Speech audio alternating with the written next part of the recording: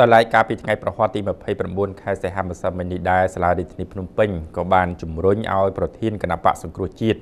មានស្មារតីរួមសហការនិងសុឆន្ទៈពិតប្រាកដនៅក្នុងការថែរក្សាស្ថិរភាពសង្គមនិងភាពសុខសាន្តដែលជាបំណងប្រាថ្នាយ៉ាងពិតប្រាកដរបស់ប្រជាពលរដ្ឋ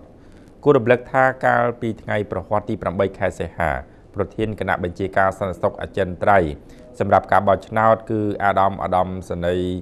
បាទគឺអាដាមអបនាយករដ្ឋមន្ត្រីសខេងក៏បានប្រមានលោកសំរងស៊ី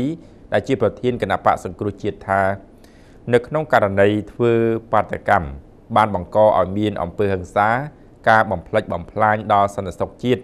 ការបំផ្លិចបំផ្លាញទ្រព្យសម្បត្តិសាធារណៈឬក៏ឯកជន និងសម្ដាប់ធ្នាប់សាធារណៈអ្នកដឹកនាំធ្វើបាតកម្មនិងអ្នកប្រព្រឹត្តបទល្មើសត្រូវទទួលខុសត្រូវចំពោះមុខច្បាប់ អំពីផលវិបាកនានាដែលកើតឡើងពីការធ្វើបាតកម្មនេះផ្អែកតាមលទ្ធផលបណ្ដោះអាសន្ននៃការបោះឆ្នោតដែលចេញផ្សាយដោយកោជប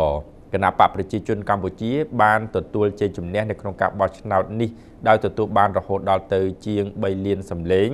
រីឯគណៈបកសង្គ្រោះជាតិវិញទទួលបានជាង2លានសម្លេងហើយកាលពីថ្ងៃទី7ខែសីហាព្រះករុណាព្រះបាទសម្ដេចព្រះបរមនាថ នរោត្តមសីហមុនីព្រះមហាក្សត្រនៃព្រះរាជាណាចក្រកម្ពុជា បានអំពាវនាវដល់គណៈបកទាំងពីរដែលប្រជាពលរដ្ឋបានបោះឆ្នោតគាំទ្រឲ្យមានអាសនៈក្នុងរដ្ឋសភានីតិកាលទី5ខាងមុខសូមបន្តពិភាក្សារោគដំណោះស្រាយដោយសន្តិវិធីចំពោះវិវាទឬក៏បញ្ហាទាំងឡាយដែលនៅសេសសល់ដើម្បីជាលទ្ធផលនិងក៏ជាឧត្តមប្រយោជន៍ដ៏ឧត្តមឧត្តមសម្រាប់ប្រទេសជាតិនិងប្រជាពលរដ្ឋផងដែរ